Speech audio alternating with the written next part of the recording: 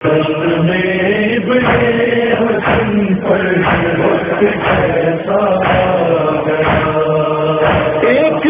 چڑی میں فقط ایک میں فقط قسم کا گیا میں بڑے حسن پر تو کربلا کے شہید کا ذکر کرنا ہے۔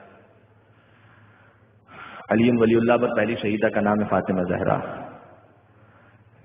یہ وہ کربلا کا شہید ہے جس کی شباہت بی بی کے ساتھ۔ ایک جملہ کہوں گا بس مسائب تک پہنچ جاؤں گا۔ اے قاسم، اے شہزادہ قاسم، شہادت بھی مبارک ہو اور سنت فاطمہ زہرا بھی مبارک ہو۔ کیا کہا میں نے؟ قاسم شہید ہوئے تھے، بیوی بھی شہید ہوئی تھی۔ شہزادی کی پسلیاں بھی ٹوٹی تھیں۔ قاسم کا لاشا بھی پامال ہوا تھا۔ لاش ہے قاسم پامال۔ شہزادہ قاسم سے پہلے ایک اور ذکر کرنا چاہتا ہوں۔ ان کا ذکر کم کیا جاتا ہے۔ حضرت حسن مسنہ قاسم کے بھائی ہیں یہ۔ یہ بھی کربلا میں موجود تھے۔ اور یہ وہ کربلا کا مجاہد ہے جب حسین جہاد پر مارے تھے وقت آخر۔ حسین جہاد کرتے جاتے تھے، حسین پر حملے ہوتے جاتے تھے۔ یہ دور سے دیکھ، چھوٹا سا بچہ، دور سے دیکھ رہا تھا۔ دیکھا، ایک شفیع میرے مولا پر وار کرنا چاہتا ہے۔ تلوار چلانا چاہتا ہے، یہ بچہ دوڑا۔ اس سے پہلے کہ اس کی تلوار چلتی، اپنے دونوں ہاتھ مولا کے سامنے رکھ دی عبداللہ ابن حسن، قاسم کے بھائی۔ دونوں ہاتھ رکھ دیے، قربان ہو گئے حسن مسنہ اپنے مولا حسین علیہ السلام پر۔ یہاں پر ہم روزانہ کہتے ہیں کہ آج حسین کو پرسہ دینا ہے، اون و محمد کا، حبیب کا، مسلم ابن اوسجا کا۔ ایک جملہ آج اور بڑھا دوں۔ آج مولا حسن کو بھی پرسہ دینا ہے۔ آج مولا حسن کو بھی پرسہ دینا ہے۔ اور شہزادہ قاسم کو بھی گویا پرسہ دینا ہے۔ وہ کیوں؟ وہ اس لیے کہ قاسم کی شہادت تو ہوئی، لیکن آج حرم ہے، آج گنبد ہے، آج زری ہے، آج مزار ہے، آج کروڑوں زائرین ہے اثر مشتبہ کی قبر مسمار ہے۔ نہ زری ہے، نہ گنبد ہے، نہ حرم ہے۔ نہ کسی کو زیارت پڑھنے کی اجازت ہے، نہ ماتم کرنے کی اجازت ہے۔ آپ یہاں رات کی تاریخی میں بیٹھے ہیں، لیکن آپ نے چراغ روشن کیے ہیں۔ چراغ روشن کیے، لیکن حسن مشتبہ کی قبر۔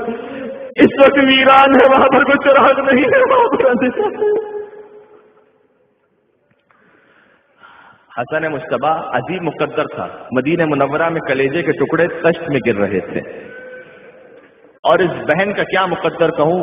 ایک بھائی کے کلیجے کے ٹکڑے دیکھے، ایک بھائی کی لاش کے ٹکڑے دیکھے، ایک بھائی کے جنازے پر تیر دیکھے، ایک بھائی کا جنازہ تیروں پر دیکھا۔ لیکن میں بیوی سے سوال کر لوں مولا حسن مصطفیٰ کا تو ذکر ہو جائے نا تھوڑا۔ بیوی سے میں سوال کر لوں کہ اے بیوی، جب مدینہ میں بھائی کے لاشے پر تیر لگے، جنازے پر تیر لگے تو آپ نے تیر نکال لیے تھے۔ کربلا میں حسین کا لاشا تیروں پر تھا تیر نہ نکال پائیں۔ بی بی یہ فرق کیوں ہو گیا؟ بی بی کو جواب نہیں دیں گی اپنے بجے ہوئے ہاتھوں کے بتائیں گی کربلا میں زینب کے ہاتھ کھلے تھے، مدینہ میں زینب کے ہاتھ کھلے تھے، کربلا میں زینب کے ہاتھ گردن سے بجے تھے۔ وہ بہن اپنے بھائی کی لاش سے تیر کیسے نکالے جس کے ہاتھ گردن سے بندے ہوں؟ شہزادہ قاسم مختصر ذکر کروں گا، بس خستگی بہت محسوس ہو رہی شہزادہ قاسم، شب عاشور، حسین بتلاتے جاتے تھے، اے حبیب، اے بریر، اے زہیر ہر ایک کا شہادت میں نام لیا۔ جب سارے نام مکمل ہو گئے، تیرہ برس کا جوان کھڑا ہو گیا۔ چچا، کل کے شہیدوں میں آپ نے میرا نام نہ لیا، چچا۔ قاسم، کئی بل موت اندک موت تیرے نزدیک کیسی ہے؟ کا احلا من الاصل موت شہر سے زیادہ شیریں ہیں چچا۔ کہ اگر موت شہر سے زیادہ شیریں ہیں تو کل کے شہیدوں میں فقط تیرا نہیں تیرے ننے بھیا علی اصغر کا نام بھی شامل ہے۔ قاسم اپنی شہادت کا سن کر تو خوش ہو گئے، لیکن علی اصغر کا سنانا تو دل تڑپ اٹھا۔ ایک سوال کیا، چچا، کیا یہ فوجیں بے حیا خیموں میں گھسائی حسین نے تسلی دی، نہیں بیٹا قاسم، تیرا چچا خود اصغر کو لے کر مقتل جائے گا، میں ایک جملہ کہوں گا، اے شہزادہ قاسم، آج شب عاشور ہے، سنا تھا برداشت نہ ہو سکا۔ کل شام غریبا میرا غیرت مند مال، سید سجاد دیکھتا رہا زینب کی چادر چھنتی رہی۔ کوئی سکینہ کو دباتے لگاتا رہا۔ سید سجاد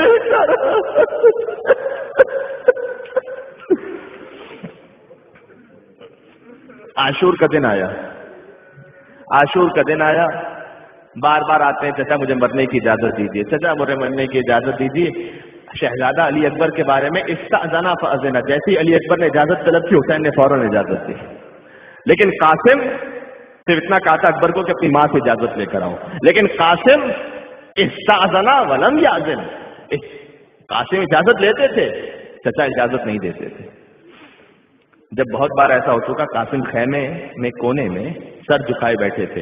ام فروا قاسم کی ماں آئی کا قاسم، تو اب تک زندہ ہے اولو محمد کے لاشیں آ گئے قاسم۔ زینب کے دونوں لال مارے گئے، قاسم، تو اب تک زندہ ہے۔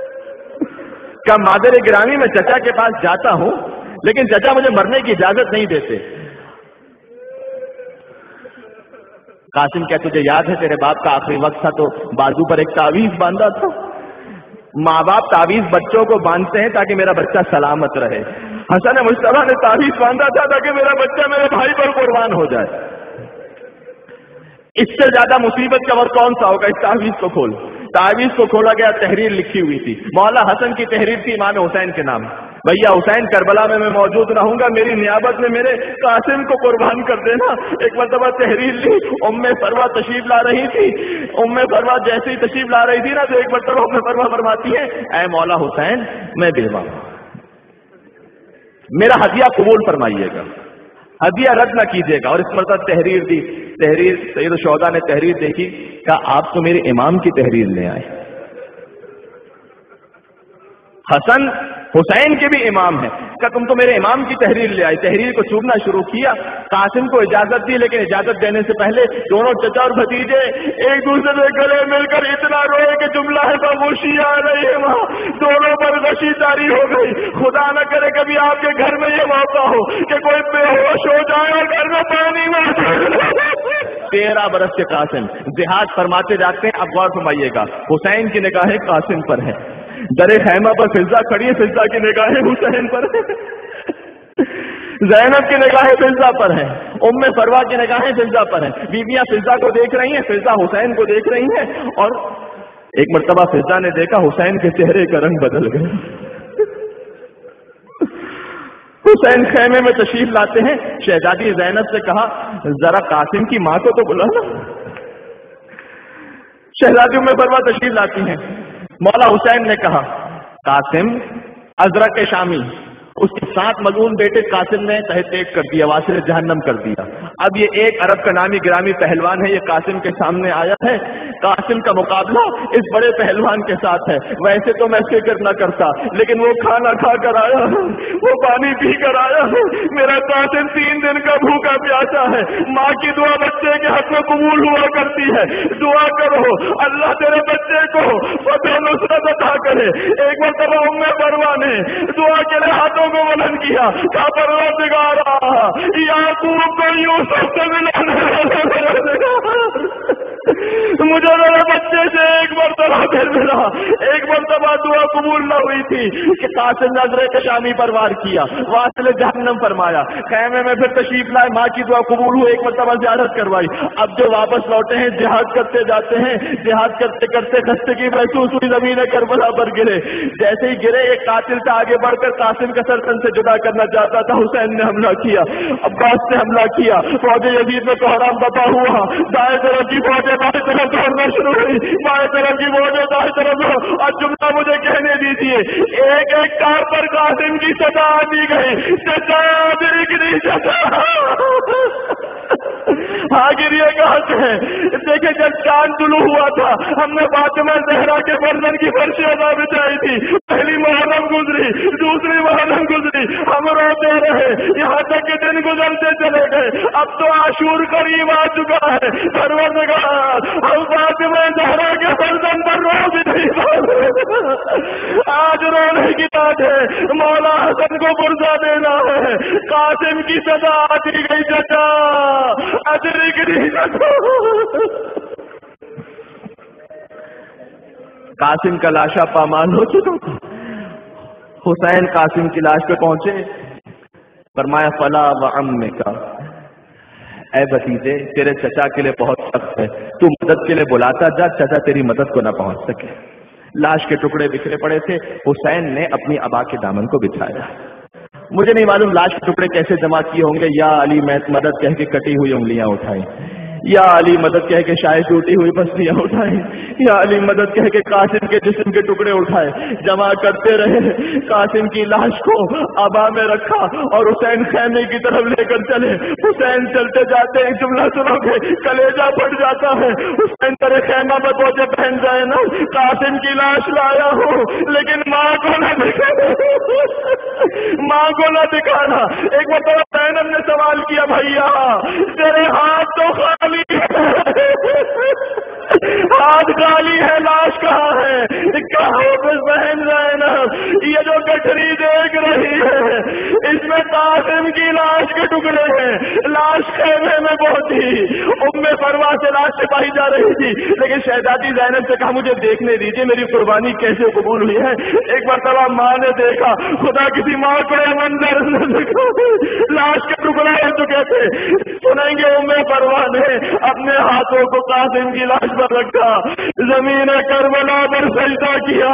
کا پروردگار تیرا شکر ہے تو نے میری قربانی سب سے زیادہ قبول بنوانی ایک جملہ مجھے اور کہنے دو۔ قاسم کا لاشا پامال ہو گیا۔ اکبر گئے، اکبر بھی شہید ہوئے۔ جب حسین اکبر کا لاشا لے کر آئے تھے، ایک طرف قاسم کی لاش پہ رکھا، ایک طرف اکبر کی لاش پہ رکھا۔ درمیان میں میرا مولا لیٹ گیا۔ آسمان کی طرف نگاہیں بلند کی۔ کا پروردگارا آج تیرا حسین غریب۔ حسین غریب ہو گیا۔ واہ غربت۔